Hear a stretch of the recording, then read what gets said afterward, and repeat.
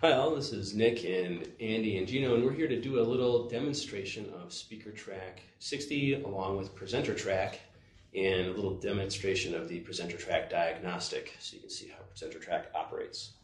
So the first thing we're going to do is we're going to go ahead and deactivate Speaker Track from the Touch 10 and activate the Presenter Track function.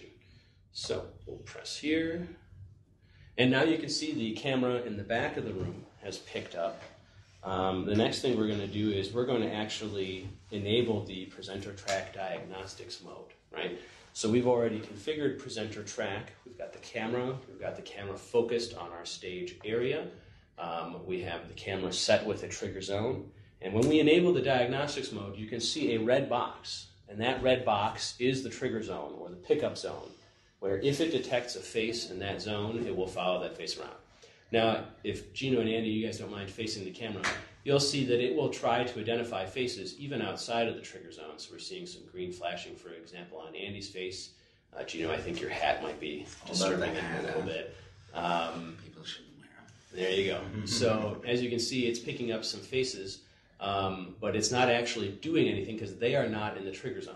So if somebody stands up and gets into the trigger zone and faces the camera, critically faces the camera, you'll see that it's now got a green box around me, and you'll see there is a yellow line, and this indicates the viewport, right? And if we were to shift out of diagnostic mode and into standard mode, we'll see that it is actually zoomed in on me and beginning to follow me around the room, right? So if I move around the room, and you'll notice it's still tracking my head even though I've turned my back, it will start to digitally crop, zoom, and follow me. But if you were sitting in this room, you would see the camera is not actually moving, right? It's an entirely digital operation, and it's following me as I move around the conference room.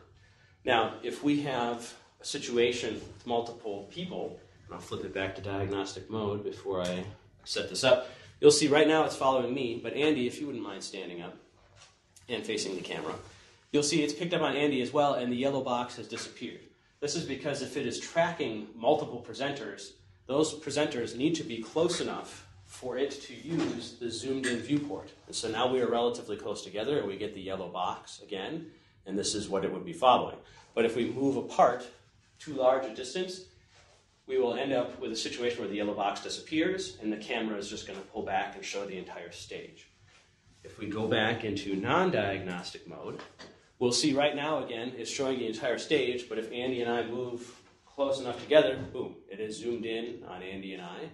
And now, you know, just think in your mind the yellow box is there. If Andy and I move this way together, oh, this way, Andy, uh, you'll see that the pan zoom follows us a bit. But if Andy moves too far off to the other side, thank you, Andy, you'll see it's back to being zoomed out.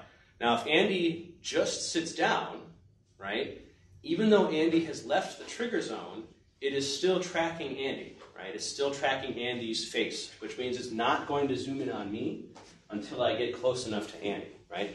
Andy would have to actually fully exit the picture.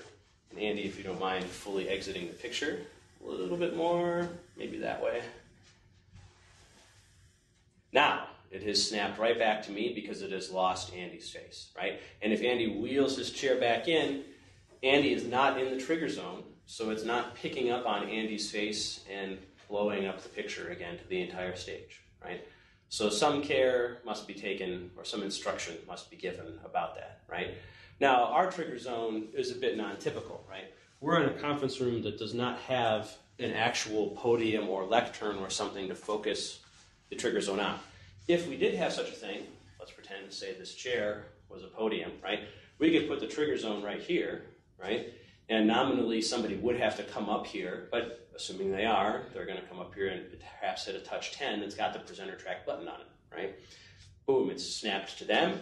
Andy could stand up, Andy could sit down. The trigger zone does not capture Andy, so it doesn't snap to Andy. It stays just with the presenter. And again, the presenter can move freely out of the trigger zone. Once it's latched onto them, that person can move around and it will do the follow function it's just when you have a very wide trigger zone in a conference room without a logical podium or other thing to pick up on that you end up in the situation that we described before. So that's about it for our demo here. We're going to go back to normal follow mode. and then we're going to disable presenter track and re-enable our speaker track, and we're back. So thank you very much for watching, and I hope you enjoyed this demo.